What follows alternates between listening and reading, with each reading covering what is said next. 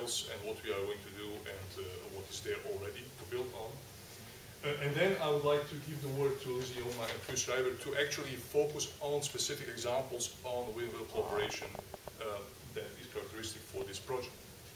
So the project that uh, I was uh, mentioning is, the, is called civic Media, the socially enriched access to link culture media. Uh, as I said, it's one of the fast coming projects.